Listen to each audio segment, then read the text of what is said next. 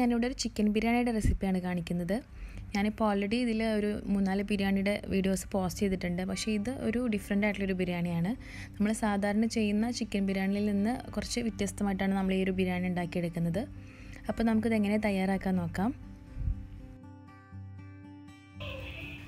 അപ്പോൾ ഇതിന് വേണ്ടിയിട്ട് ഞാനിവിടെ ഒരു കിലോ ചിക്കൻ നന്നായി ക്ലീൻ ചെയ്ത് വെച്ചിട്ടുണ്ട്. നമ്മൾ സാധാരണ ചിക്കൻ ബിരിയാണിക്ക് കുറച്ച് വലിയ പീസസ് ആക്കിയിട്ടാണ് നമ്മൾ കട്ട് ചെയ്തെടുക്കാറ്. പക്ഷേ ഇതിന് ഞാനിപ്പോൾ ഒരു മീഡിയം പീസസ് ആക്കിയിട്ടാണ് എടുത്തിട്ടുള്ളത്. അപ്പോൾ ഈ ഒരു ബിരിയാണിക്ക് ഈ ഒരു വലുപ്പത്തിലുള്ള പീസസ് ആക്കിയിട്ട് നമുക്ക് കട്ട് ചെയ്തെടുത്താൽ മതി. ഇനി ആദ്യം ഈ ചിക്കൻ ഒന്ന് മാരിനേറ്റ് ചെയ്യുന്നുണ്ട്. നമ്മളിത് ഫ്രൈ ചെയ്തിട്ടാണ് ബിരിയാണി ഉണ്ടാക്കിയെടുക്കുന്നത്. അപ്പോൾ അതിന് വേണ്ടിയിട്ട് ഒരു ബൗളിലേക്ക് ഒരു ഒന്നര ടേബിൾ സ്പൂൺ മുളക് പൊടി ചേർത്ത് കൊടുക്കാം. പിന്നെ ഒരു കാൽ ടീസ്പൂൺ മഞ്ഞൾപ്പൊടി. മഞ്ഞൾപ്പൊടി വളരെ കുറച്ച് മതി ഒരുപാട് വേണ്ട. പിന്നെ ഒരു കാൽ ടീസ്പൂൺ ഗരം മസാല പൗഡർ ചേർത്ത് കൊടുക്കാം. പിന്നെ നമുക്ക് ഈ ചിക്കൻ ആവശ്യത്തിനുള്ള ഉപ്പ് ഇതിലേക്ക് ആഡ് ചെയ്ത് കൊടുക്കാം. ഇനി ഇതിലേക്ക് ഒരു ടേബിൾ സ്പൂൺ ലെമൺ ജ്യൂസ് ചേർത്ത് കൊടുക്കാം. പിന്നെ ഒരു കാൽ ടീസ്പൂൺ ഇഞ്ചി വെളുത്തുള്ളി പേസ്റ്റും കൂടെ ചേർക്കുന്നുണ്ട്. ഇതൊക്കെ വളരെ കുറച്ച് ചേർത്താൽ മതി ഒരു ഫ്ലേവറിന് വേണ്ടി മാത്രം. കാരണം നമ്മളിതെല്ലാം മസാലയിൽ വേറെ ചേർക്കുന്നുണ്ട്. ഇനി ഇതിലേക്കൊരു ഒന്നര ടേബിൾ സ്പൂൺ കോൺഫ്ലോർ ചേർത്ത് കൊടുക്കാം. പിന്നെ ഞാനിപ്പോൾ ഇതിലേക്ക് ഒരു കോഴിമുട്ട കൂടെ ചേർക്കുന്നുണ്ട്. നമ്മളിതെല്ലാം ചേർക്കുമ്പോൾ നമ്മുടെ ചിക്കൻ നല്ലൊരു കോട്ടിംഗ് ഉണ്ടാവും. നമ്മൾ ഫ്രൈ ചെയ്ത് വരുമ്പോൾ അപ്പോൾ അത് മസാലയിലേക്ക് ഇടുമ്പോൾ ഒരു നല്ലൊരു ടേസ്റ്റ് ആയിരിക്കും. അപ്പോൾ അതിന് വേണ്ടിയിട്ടാണ് നമ്മൾ ഈ കോൺഫ്ലോറും കോഴിമുട്ടൊക്കെ ചേർക്കുന്നത്. അതെല്ലാം ചേർത്ത് നന്നായിട്ട് മിക്സ് ചെയ്തെടുക്കുക. അതിനുശേഷം നമുക്ക് ഇതിലേക്ക് നമ്മൾ കട്ട് ചെയ്ത് വെച്ചിട്ടുള്ള ചിക്കൻ ചേർത്തിട്ട് നന്നായിട്ടൊന്ന് മസാല ഒക്കെ തേച്ച് ഒന്ന് മാറ്റി വെക്കാം.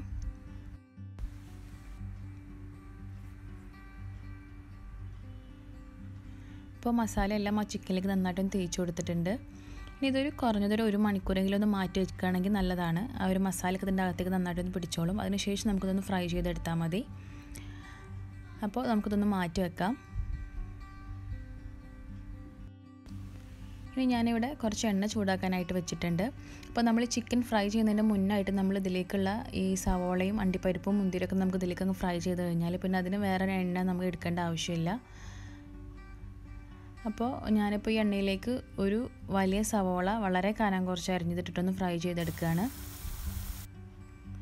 പിന്നെ ഇത് ഒരുപാട് ബ്രൗൺ കളർ ആവാൻ നിൽക്കരുത്. ഈ ഒരു കളർ വന്നു കഴിഞ്ഞാൽ നമുക്കിത് എണ്ണയിൽ നിന്ന് മാറ്റണം. ഒരുപാട് അങ്ങ് കരിഞ്ഞു പോയി കഴിഞ്ഞാൽ നമ്മുടെ ബിരിയാണി ടേസ്റ്റ് മാറിപ്പോവും. അപ്പോൾ ഈ ഒരു കളർ ആയാൽ മതി. ഇത് പുറത്തിരുന്ന് കഴിഞ്ഞാൽ കുറച്ചുകൂടെ ഒന്ന് ക്രിസ്പി ആയി കിട്ടും. അപ്പോൾ ഈ ഒരു സമയത്ത് നമുക്കിത് എണ്ണയിൽ നിന്ന് മാറ്റാം.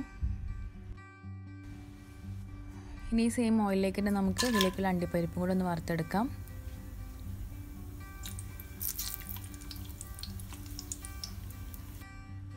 മുന്തിരി പെട്ടെന്ന് കരിഞ്ഞു പോവും. അപ്പോൾ ഇതുപോലെ ഒന്ന് പെട്ടെന്ന് ഇട്ടിട്ട് നമുക്ക് ഇതിൽ നിന്ന് എടുത്താൽ മതി. അപ്പോൾ അതും കൂടെ ഒന്ന് ഫ്രൈ ചെയ്ത് മാറ്റാം. ഇനി ഇതിലേക്ക് നമ്മൾ മാരിനേറ്റ് ചെയ്ത് വെച്ചിട്ടുള്ള ചിക്കന്റെ പീസ് ചേർത്ത് കൊടുക്കാം.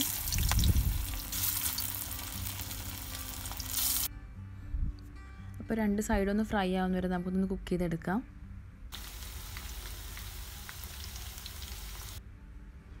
അപ്പോൾ ഈ ഒരു കളറായാൽ മതി. അപ്പം ഇനി നമുക്കിത് എണ്ണയിൽ നിന്ന് മാറ്റാം.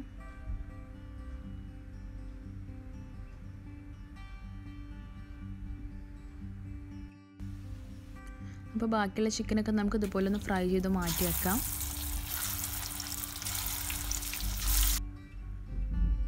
അപ്പോൾ ഞാനിപ്പോൾ എല്ലാ ചിക്കനും ഒന്ന് ഫ്രൈ ചെയ്തെടുത്തിട്ടുണ്ട്. ഇതൊന്ന് മാറ്റി വെക്കാം. ഇനി നമുക്ക് മസാല ഉണ്ടാക്കണം. അപ്പോൾ അതിന് മുന്നായിട്ട് ഞാനിപ്പോൾ ഇതിലേക്ക് ഒരു മൂന്ന് കപ്പ് ബസ്മതി റൈസാണ് ഇവിടെ എടുത്തിട്ടുള്ളത്. ജീരകശാല റൈസ് ആണെങ്കിൽ ഇതിലേക്ക് യൂസ് ചെയ്യാം. ഏത് കുഴപ്പമില്ല. ഞാനിപ്പോൾ ഇവിടെ ബസ്മതി റൈസ് എടുത്തിട്ടുള്ളത്. അപ്പോൾ ഇതൊന്ന് നന്നായിട്ട് വാഷ് ചെയ്തതിന് ശേഷം നമുക്കൊരു ഇരുപത് മിനിറ്റ് ഒന്ന് സോക്കാനായിട്ട് മാറ്റി വെക്കാം. പിന്നെ മസാല ഉണ്ടാക്കാനായിട്ട് ഞാനൊരു പാൻ ചൂടാക്കാനായിട്ട് വെച്ചിട്ടുണ്ട്. അതിലേക്ക് നമ്മൾ ചിക്കൻ ഫ്രൈ ചെയ്ത എണ്ണയിൽ നിന്ന് ഒരു രണ്ട് ടേബിൾ സ്പൂൺ ഇതിലേക്ക് ഒഴിച്ചു കൊടുത്തിട്ടുണ്ട്. അതിന്റെ കൂടെ തന്നെ ഒരു ടേബിൾ സ്പൂൺ നെയ്യും കൂടെ ചേർത്ത് കൊടുക്കാം. ഇനി ഞാനിതിലേക്ക് ആദ്യം ഒരു അല്പം കറിവേപ്പിലിട്ടൊന്ന് പൊട്ടിച്ചു കൊടുക്കുന്നുണ്ട്. പിന്നെ ഒരു ആറ് പച്ചമുളക് അരിഞ്ഞതും കൂടി ഇട്ട് കൊടുത്തിട്ടുണ്ട്. ഞാനിപ്പോൾ ഇതിലേക്ക് പച്ചമുളക് അരിഞ്ഞ് ചതച്ചിട്ടല്ല ചേർക്കുന്നത്. ഇങ്ങനെയാണ് ചേർത്ത് കൊടുത്തിട്ടുള്ളത്. അതാകുമ്പോൾ നല്ലൊരു ഫ്ലേവർ ഉണ്ടാവും ആ ഒരു കറിവേപ്പിലൊക്കെ ചേർക്കുമ്പോൾ ഇതിലേക്ക് ഞാനിവിടെ ഒരു അഞ്ച് സവോള വളരെ കനം കുറച്ച് അരിഞ്ഞിട്ടുള്ളതാണ്. അത് ഇതിലേക്ക് ചേർത്ത് കൊടുക്കാം. അപ്പോൾ നമ്മൾ സാധാരണ ബിരിയാണി ഉണ്ടാക്കുന്ന അതിൽ ചേർക്കുന്നതിനേക്കാളും കുറച്ചുകൂടി കൂടുതൽ ഉള്ളിയും തക്കാളിയൊക്കെ നമുക്ക് ഈ ഒരു ബിരിയാണിക്ക് ആവശ്യമുണ്ട്. നമുക്ക് കുറച്ചധികം മസാല വേണം. അപ്പോൾ അതുകൊണ്ട് ഒരു അഞ്ച് ഒരു മൂന്ന് കപ്പ് റൈസിന് ഞാനിപ്പോൾ ഒരു അഞ്ച് സവോള എടുത്തിട്ടുണ്ട്. അപ്പോൾ അത് നന്നായിട്ടൊന്ന് വഴറ്റിയെടുക്കാം ഈ എണ്ണയിലേക്ക് ഇട്ടിട്ട്. ഇനി മസാലയ്ക്ക് ആവശ്യത്തിനുള്ള ഉപ്പ് നമുക്ക് ഇതിലേക്ക് ചേർത്ത് കൊടുക്കാം. പിന്നെ ഈ ഉള്ളി നന്നായിട്ടൊന്ന് വഴറ്റിയെടുക്കണം. നമ്മൾ ഹൈ ഫ്ലെയിമിൽ ഇട്ടിട്ട് വഴറ്റാതെ ഒരു മീഡിയം ഫ്ലെയിമിലേക്ക് ഇട്ടിട്ടൊന്ന് വഴറ്റിയെടുക്കുക. എങ്കിലാണ് നമ്മുടെ മസാലയ്ക്ക് നല്ലൊരു ടേസ്റ്റ് ഉണ്ടാവുള്ളൂ. അപ്പോൾ ഇതുപോലെ നന്നായിട്ടൊന്ന് മീഡിയം ഫ്ലെയിമിൽ ഇട്ടിട്ടൊന്ന് വഴറ്റിയെടുക്കണം. ഇനി ഇതിലേക്ക് ഞാനൊരു ഒരു വലിയൊരു കുടം വെളുത്തുള്ളി ചതച്ചെടുത്തിട്ടുള്ളതാണ്. പിന്നെ ഒരു വലിയ കഷ്ണം ഇഞ്ചി ചതച്ചതും കൂടി ഉണ്ട്. അതും കൂടി ഇതിലേക്ക് ചേർത്ത് കൊടുക്കാം.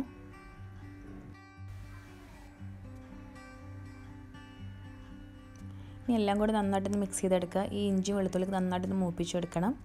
അതിനുശേഷം നമുക്ക് ഇതിലേക്ക് തക്കാളി ചേർത്ത് കൊടുക്കണം. അപ്പോൾ ഞാനിപ്പോൾ ഇവിടെ അഞ്ച് സവാള എടുത്തതുകൊണ്ട് ഒരു നാല് തക്കാളി ഇതിലേക്ക് ചേർത്ത് കൊടുക്കുന്നുണ്ട്. തക്കാളിയുടെ അളവ് ഇതിലേക്ക് കൂടുതൽ വേണം. എങ്കിലാണ് നമ്മുടെ മസാലക്ക് നല്ലൊരു ടേസ്റ്റ് ഉണ്ടാവുള്ളൂ. അപ്പോൾ നല്ല പഴുത്ത തക്കാളി ആണെങ്കിൽ നമുക്ക് പെട്ടെന്ന് കുക്കായി കിട്ടുകയും ചെയ്യും. മസാലക്ക് നല്ലൊരു കളറും ഉണ്ടാവും. പിന്നെ പുളി കുറഞ്ഞ ടൈപ്പിലുള്ള തക്കാളി എടുക്കായിരിക്കും നല്ലത്. അതല്ലെങ്കിൽ മസാലക്ക് ഭയങ്കരമായിട്ട് പുളി ഉണ്ടാവും. അപ്പോൾ അത് നോക്കിയിട്ട് എടുക്കുക. നന്നായിട്ട് മിക്സ് ചെയ്തതിന് ശേഷം നമുക്കിതിനെ അടച്ചു വെച്ചിട്ട് ഈ തക്കാളി നന്നായിട്ട് കുക്കാവുന്നവരെ ഒന്ന് വെയിറ്റ് ചെയ്യാം. അപ്പോൾ തക്കാളി നന്നായിട്ടൊന്ന് കുക്ക് ചെയ്തെടുക്കണം. മീഡിയം ഫ്ലെയിമിൽ വെച്ചിട്ട് നന്നായിട്ടൊന്ന് കുക്ക് ചെയ്തെടുക്കണം. അപ്പോൾ അതിൽ നിന്ന് കൂടുതൽ എന്തെങ്കിലും വെള്ളം ഉണ്ടെങ്കിൽ തുറന്ന് വെച്ചിട്ടൊന്ന് വറ്റിച്ചെടുക്കുക. ഇപ്പോൾ ഇതിൽ അധികം വെള്ളമൊന്നുമില്ല. തക്കാളിയൊക്കെ നന്നായി കുക്കായി വന്നിട്ടുണ്ട്. അപ്പോൾ നന്നായിട്ട് എണ്ണ തെളിയുന്ന വരെ നമുക്കിതൊന്ന് കുക്ക് ചെയ്തെടുക്കണം. അപ്പോൾ ഇത് കറക്റ്റായിട്ട് ഇപ്പോൾ വെന്ത് വന്നിട്ടുണ്ട്. ഇനി നമുക്കിതിലേക്ക് മസാലപ്പൊടികൾ ചേർത്ത് കൊടുക്കാം. ഇതിലേക്ക് ഒരു ടേബിൾ സ്പൂൺ ബിരിയാണി മസാല ചേർത്ത് കൊടുക്കുന്നുണ്ട്. പിന്നെ ഒരു കാൽ ടീസ്പൂൺ മഞ്ഞൾപ്പൊടി. മഞ്ഞൾപ്പൊടി എപ്പോഴും വളരെ കുറച്ച് ചേർത്താൽ മതി. ഒരുപാട് യെല്ലോ കളർ നമ്മുടെ ബിരിയാണിക്ക് വേണ്ട. പിന്നെ ഒരു അര ടീസ്പൂൺ ഗരം മസാല കൂടെ ചേർക്കുന്നുണ്ട്. അതും കൂടെ ചേർത്ത് നന്നായിട്ട് മിക്സ് ചെയ്തെടുക്കാം. അപ്പോൾ ഇതുപോലെ വേണം നമ്മുടെ മസാല ഇരിക്കാനായിട്ട് നല്ല ഉള്ളിയും തക്കാളിയൊക്കെ നല്ല കുക്കായിട്ട് ഇതുപോലെ പേസ്റ്റ് പോലെ ഇരിക്കുന്നുണ്ട്. അതുപോലെ വേണമെങ്കിലാണ് മസാലക്ക് നല്ലൊരു ടേസ്റ്റ് ഉണ്ടാവുള്ളൂ. ഇതിലേക്ക് ഒരു രണ്ട് ടേബിൾ സ്പൂൺ തൈരും കൂടെ ചേർത്ത് കൊടുക്കാം. അതും കൂടെ ചേർത്ത് നന്നായിട്ട് മിക്സ് ചെയ്തെടുക്കാം. നമ്മളിതിലേക്ക് സെപ്പറേറ്റ് ലെമൺ ജ്യൂസ് ചേർക്കേണ്ട ആവശ്യമില്ല. കാരണം നമ്മൾ ഓൾറെഡി തക്കാളിയൊക്കെ ചേർത്തതുകൊണ്ട് അതിൽ അത്യാവശ്യം നല്ല പുളി ഉള്ളതുകൊണ്ട് നമുക്ക് അതിന്റെ വേറെ ആവശ്യമില്ല. ഇനി ഇതിലേക്ക് നല്ല ഫ്രഷ് ആയിട്ടുള്ള മലയാളിയും പുതിനയിലും അരിഞ്ഞതും കൂടെ ചേർത്ത് കൊടുക്കാം. നന്നായിട്ട് മിക്സ് ചെയ്തതിന് ശേഷം നമുക്ക് ഇതിലേക്ക് നമ്മൾ ഫ്രൈ ചെയ്ത് വെച്ചിട്ടുള്ള ചിക്കനും കൂടെ ആഡ് ചെയ്ത് കൊടുക്കാം.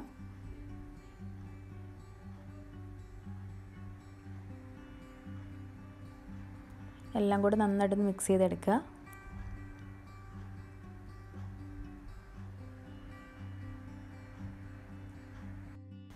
അപ്പോൾ നമ്മൾ ഇത്രയും ഉള്ളിയും തക്കാളിയൊക്കെ ചേർത്തിട്ടുണ്ടെങ്കിലാണ് ഈ ഒരു ചിക്കനെല്ലാം ഈ ഒരു മസാല നന്നായിട്ട് പൊതിഞ്ഞിരിക്കുള്ളൂ. അപ്പോൾ ഇതുപോലെ ഇരിക്കണം നമ്മുടെ മസാല. ആ ഒരു എല്ലാ ചിക്കന്റെ മുകളിലും ഈ ഒരു മസാല പൊതിഞ്ഞിരിക്കണം. അപ്പോൾ ഞാൻ ഇതിന്റെ ഇതിൽ നിന്നൊരു അല്പം മസാല മാത്രം ഞാനൊരു ബൗളിലേക്ക് ഒന്ന് മാറ്റി വെക്കുന്നുണ്ട്. നമുക്ക് റൈസ് ദം ചെയ്യുമ്പോൾ അതിലേക്ക് ഇട്ട് കൊടുക്കാൻ വേണ്ടിയിട്ടാണ്.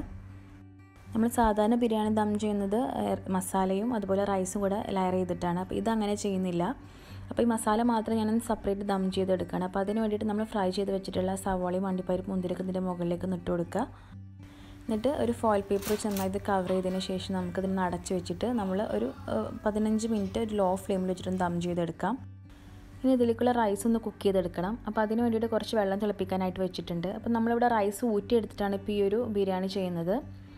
അപ്പോൾ നമുക്ക് ഈ ചോറിന് ആവശ്യത്തിനുള്ള ഉപ്പ് ഈ വെള്ളത്തിലേക്ക് ചേർത്ത് കൊടുക്കാം.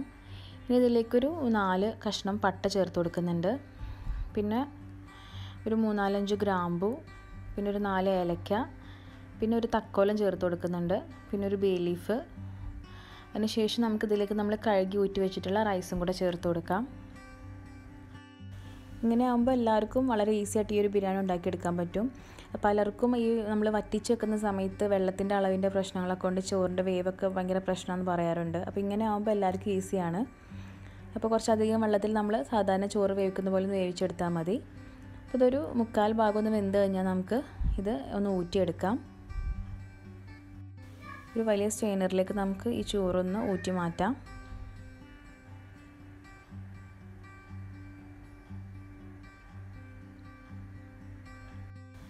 നമ്മൾ ഈ ചോറും ഇനി വേറെ ദം ചെയ്തെടുക്കുന്നുണ്ട്. അപ്പോൾ ഈ ദം ചെയ്യുമ്പോൾ ചേർക്കാനായിട്ട് ഞാനൊരു ബൗളിലേക്ക് ഒരു അല്പം പാൽ ഒഴിച്ചു കൊടുത്തിട്ടുണ്ട്. ഇനി ഇതിലേക്ക് ഒരു കാൽ ടീസ്പൂൺ മഞ്ഞൾപ്പൊടി വളരെ കുറച്ച് മഞ്ഞ കളർ മതി നമുക്കിതിലേക്ക്. പിന്നെ ഒരു ടീസ്പൂൺ റോസ് വാട്ടറും കൂടെ ഒന്ന് മിക്സ് ചെയ്തെടുക്കുന്നുണ്ട്. പിന്നെ മഞ്ഞൾപ്പൊടി ഒരുപാട് ചേർക്കരുത്. നമ്മുടെ റൈസിന് വളരെ ലൈറ്റായിട്ടുള്ളൊരു മഞ്ഞ കളർ മതി. ഇനി ഈ റൈസ് ദം ചെയ്യാനായിട്ടൊരു വലിയ പാൻ എടുക്കുക. അതിന്റെ താഴെ ഒരു അല്പം നെയ്യൊന്ന് ഒഴിച്ചു കൊടുത്തിട്ടുണ്ട്. എന്നിട്ട് അതിന്റെ താഴെ നമ്മൾ നേരത്തെ മസാല ഉണ്ടാക്കും മാറ്റി വെച്ചിട്ടുള്ള മസാലയിൽ നിന്ന് പകുതി ഞാൻ ഇപ്പോൾ ഈ ഒരു പാനിന്റെ താഴെ ഇട്ട് കൊടുക്കുകയാണ്. ഇതിലേക്ക് നമ്മൾ സാധാരണ നമ്മൾ ബിരിയാണി ദം ചെയ്യുന്ന പോലെ തന്നെ നമ്മൾ കുക്ക് ചെയ്ത് വെച്ചിട്ടുള്ള പകുതി റൈസ് ഇതിന്റെ മുകളിൽ ഇട്ട് കൊടുക്കാം. നമ്മളിതിലേക്ക് ചിക്കൻ മാത്രം ചേർക്കുന്നില്ല എന്നുള്ളൂ ബാക്കി എല്ലാം സെയിം പ്രൊസീജിയർ തന്നെയാണ്. മുകളിലേക്ക് ഒരു അല്പം ഗരം മസാല ചേർത്ത് കൊടുക്കാം. പിന്നെ ബാക്കി നമ്മൾ എടുത്ത് വെച്ചിട്ടുള്ള മസാല കൂടെ ഇതിലേക്ക് ആഡ് ചെയ്ത് കൊടുക്കാം. പിന്നെ നമ്മൾ പാലിന്റെയും റോസ് വാട്ടറിന്റെയും ആ ഒരു മഞ്ഞൾപ്പൊടിയുടെയും മിക്സ് കുറച്ച് ഒഴിച്ചു കൊടുക്കാം. പിന്നെ ഇതിലേക്ക് കുറച്ച് നെയ്യ് ചേർത്ത് കൊടുക്കണം. റൈസിന് നമ്മൾ നല്ല നെയ്യിന്റെ ഒരു ടേസ്റ്റ് വരികയും ചെയ്യും. നമ്മൾ വേറെ നെയ്ച്ചോറ് പോലെയല്ല വെച്ചിട്ടുള്ളത്. അതുകൊണ്ട് കുറച്ച് നെയ്യ് അധികം ചേർത്ത് കൊടുക്കുക. പിന്നെ കുറച്ച് മല്ലിയില പുതിനയില അരിഞ്ഞത് ഇട്ട് കൊടുക്കാം. പിന്നെ ഇതിന്റെ മുകളിലേക്ക് നമ്മൾ ഫ്രൈ ചെയ്ത് വെച്ചിട്ടുള്ള സവോളയും അണ്ടിപ്പരിപ്പ് മുന്തിരിയൊക്കെ ചേർത്ത് കൊടുക്കാം. ഇതെല്ലാം ചേർക്കുമ്പോഴാണ് നമ്മളിത് ദം ചെയ്തെടുക്കുമ്പോൾ ശരിക്കും ഒരു ബിരിയാണിയുടെ ഒരു ഫ്ലേവർ ഉണ്ടാവുള്ളൂ. അപ്പോൾ ഇതെല്ലാം മസ്റ്റായിട്ട് നമ്മളത് ദം ചെയ്യുമ്പോൾ ചേർക്കണം. വെറുതെ ഊറ്റിയെടുത്തിട്ട് നമ്മൾ ബിരിയാണി ചെയ്ത ടേസ്റ്റ് ഉണ്ടാവില്ല. പിന്നെ ബാക്കിയുള്ള റൈസും കൂടെ ഇതിന്റെ മുകളിലേക്ക് ഇട്ട് കൊടുക്കുക. നേരത്തെ ചെയ്ത പോലെ തന്നെ ഗരം മസാല ചേർത്ത് കൊടുക്കാം. പിന്നെ ആ പാലിന്റെയും മഞ്ഞൾപ്പൊടിയും മിക്സ് ചേർക്കാം. പിന്നെ നെയ്യും അത്യാവശ്യം ചേർക്കണം നമ്മൾ ഇതിലേക്ക് എങ്കിലാണ് നമ്മൾ ചോറിന്റെ ആ ഒരു ബിരിയാണിന്റെ നല്ലൊരു ഫ്ലേവർ ഉണ്ടാവുള്ളൂ ഈ ഒരു ചോറിന്. അപ്പോൾ അതും കൂടെ ചേർക്കാം. പിന്നെ കുറച്ച് മല്ലിയില അരിഞ്ഞത് ചേർക്കാം. പിന്നെ സവോളയും അണ്ടിപ്പരിപ്പ് മുന്തിരിയും ചേർത്ത് കൊടുക്കാം. പിന്നെ ഇതിന്റെ മുകളിലേക്ക് ഞാൻ നല്ലൊരു ഫ്ലേവറിന് വേണ്ടിയിട്ട് ഒരു കുറച്ച് പൈനാപ്പിൾ അരിഞ്ഞതും കൂടെ ചേർത്ത് കൊടുക്കുന്നുണ്ട്. എങ്കിലാണ് നല്ലൊരു നല്ലൊരു ബിരിയാണിയുടെ നല്ലൊരു ഫ്ലേവർ ഉണ്ടാവും. നിർബന്ധമൊന്നുമില്ല നിങ്ങളുടെ കയ്യിലുണ്ടെങ്കിൽ മാത്രം ചേർത്താൽ മതി. അപ്പോൾ അതും കൂടെ ചേർത്തിട്ട് നമുക്ക് ഒരു ഫോയിൽ പേപ്പർ വെച്ച് നന്നായിട്ടൊന്ന് കവർ ചെയ്തതിന് ശേഷം നമ്മൾ സാധാരണ ബിരിയാണി ദം ചെയ്യുന്ന പോലെ നമുക്ക് ഇതൊന്ന് ദം ചെയ്തെടുക്കാം.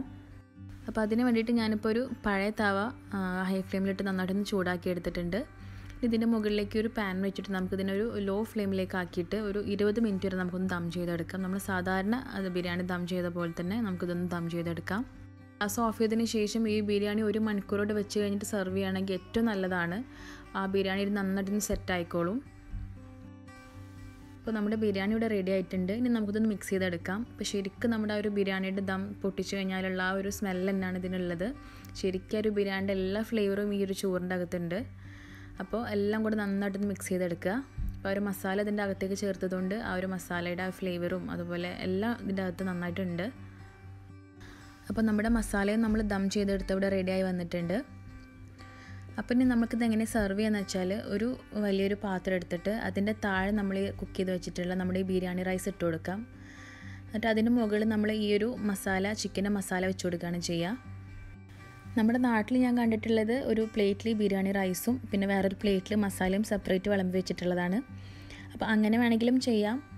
അപ്പോൾ അതാകുമ്പോൾ ഓരോരുത്തരുടെ ഇഷ്ടത്തിനനുസരിച്ച് റൈസ് മാത്രം അല്ലെങ്കിൽ മസാല മാത്രം അതിനനുസരിച്ച് എടുക്കാം. ഇത് ഞാനിപ്പോൾ വീട്ടിലുണ്ടാക്കുമ്പോൾ ഞാൻ സാധാരണയായിട്ട് ഇങ്ങനെ ചെയ്യാറുള്ളത്. അപ്പോൾ ഇതുപോലെ വേണമെങ്കിൽ നിങ്ങൾക്ക് സെർവ് ചെയ്യാം. എന്നിട്ട് ഇതിന്റെ മുകളിൽ കുറച്ച് ഫ്രൈ ചെയ്ത് വെച്ചിട്ടുള്ള സവാളയും അണ്ടിപ്പരിപ്പൊക്കെ ഒന്ന് ഇട്ട് കൊടുക്കാം.